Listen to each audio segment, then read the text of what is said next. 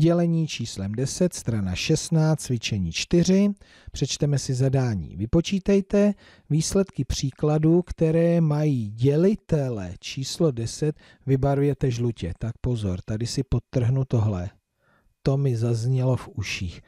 Ne, až to vypočítám, tak se k tomu vrátím. Takže vypočítejte. 40 děleno 10 rovná se 4, 50 děleno 10 rovná se, čekám, 5, 30 děleno 10 rovná se 3, tak takhle by byl první řádek, druhý 40 děleno 4, aha, rovná se 10.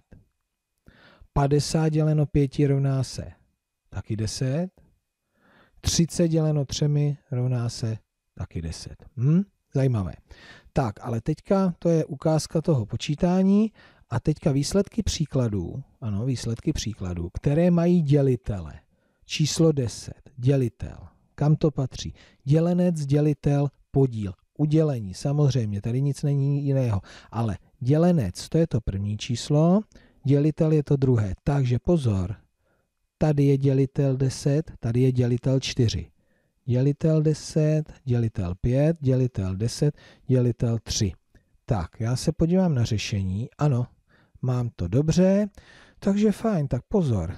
Když něco čtete a trošku vám to zazní v uších, že by v tom dělal nějaký podfuk, označte si to, abyste na to potom nezapomněli.